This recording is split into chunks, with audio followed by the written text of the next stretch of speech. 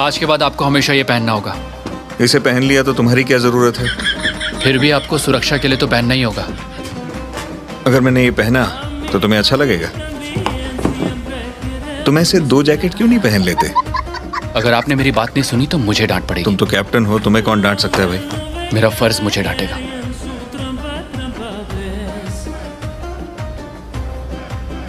अब इमोशनल मत करो यार।